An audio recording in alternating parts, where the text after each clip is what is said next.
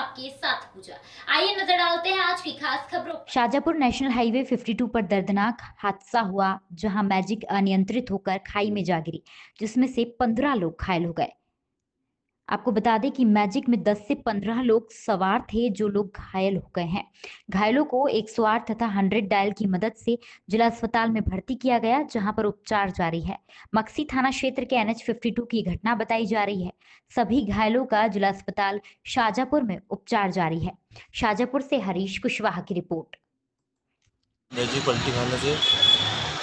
और मैजिक पलटी तो उसमें जब पंद्रह बीस लोग घायल है और उनको प्राथमिक उपचार उपचार के लिए मकसद ले लगाया गया और वहाँ से कुछ सात आठ लोगों को महिलाओं को शाजापुर रेफर किया। कहाँ की घटना है? ये मक्सी से कौन सा गाँव है वो?